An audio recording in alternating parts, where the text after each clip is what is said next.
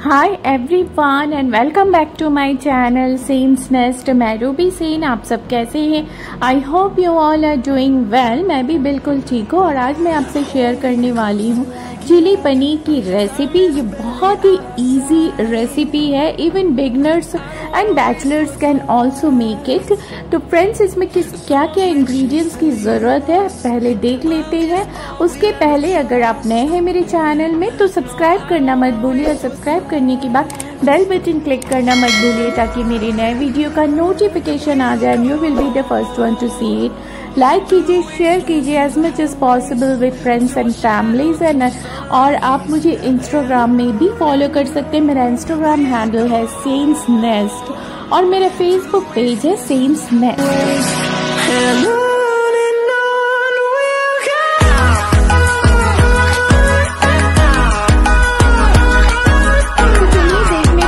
मैंने क्या क्या इंग्रेडिएंट्स की ज़रूरत है।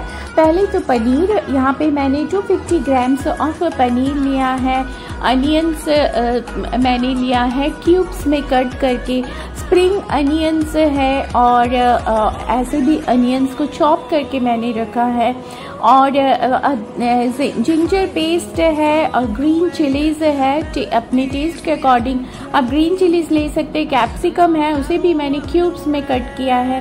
साथ में है गार्लिक। गार्लिक को मैंने क्रश कर लिया है। तो फ्रेंड्स ये सारे इंग्रेडिएंट्स की ज़रूरत है हमें। और sausage tomato sauce chilli sauce और विनेगर की भी ज़रूरत है। और साथ में हमें चाहिए पनीर कॉर्नफ्लोर मैंने ऐड किया है सॉल्ट अकॉर्डिंग टू टेस्ट और साथ में मैं ऐड करूँगी चिली पाउडर और साथ में कश्मीरी रेड चिली पाउडर इससे बहुत अच्छा कलर आएगा। और साथ में ऐड करें cornflour two to three spoons सारी चीज़ों को अच्छे से मिक्स करें मिक्स इट वेल प्रॉपरली और इसे बाय हैंड ही आप अच्छे से मिक्स करें और मिक्स करके इसे अलग रख लें।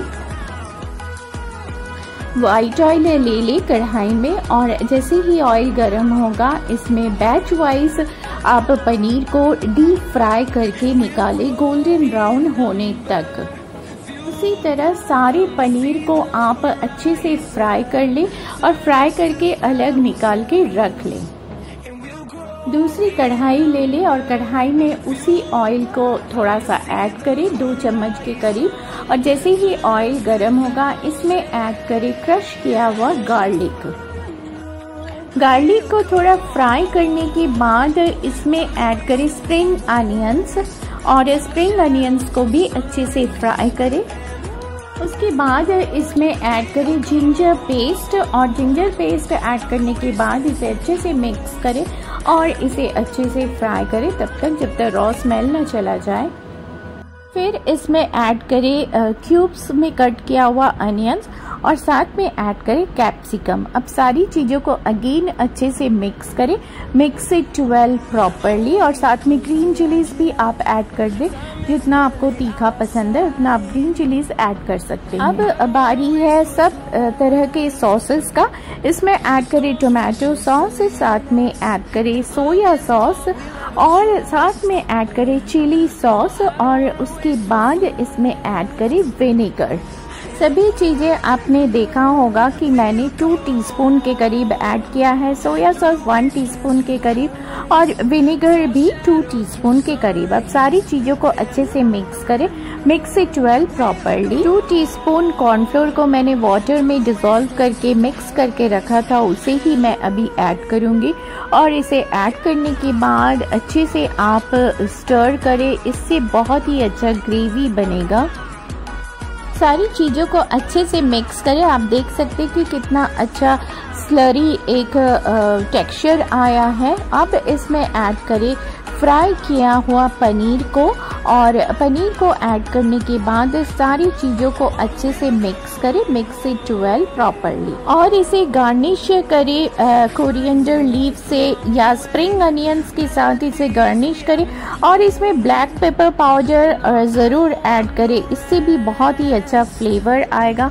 आप इसे गर्मा गर्म सर्व कर सकते हैं एज अ स्नैक्स या आप इसे सर्व कर सकते विथ पुलाव के साथ भी आप इसे वेज वेज पुलाव के साथ भी आप इसे सर्व कर सकते हैं। तो फ्रेंड्स आपको ये रेसिपी कैसी लगी मुझे कमेंट्स करके ज़रूर बताइएगा। तो और अगर आप नए हैं मेरे चैनल में सब्सक्राइब करना मत भूलिए। सब्सक्राइब करने के बाद बेल बटन क्लिक करना मत भूलिए ताकि मेरे नए वीडियो का नोटिफिकेशन आ जाए and you will be the first one to see it like कीजिए शेयर कीजिए as much as possible with friends and families और आप मुझे इंस्टाग्राम में भी फॉलो कर सकते हैं। मेरा इंस्टाग्राम हैंडल है सीन्स नेस्ट तो फ्रेंड्स मिलते हैं आप सबसे on my next interesting blog till then bye bye stay safe stay strong stay healthy and stay connected with me